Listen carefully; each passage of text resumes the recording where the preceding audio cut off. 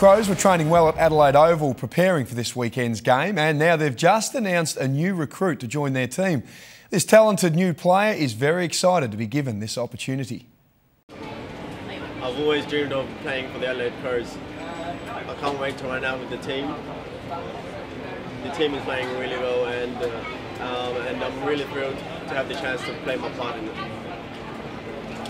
Watch 7 News for all your Adelaide Crows and AFL updates.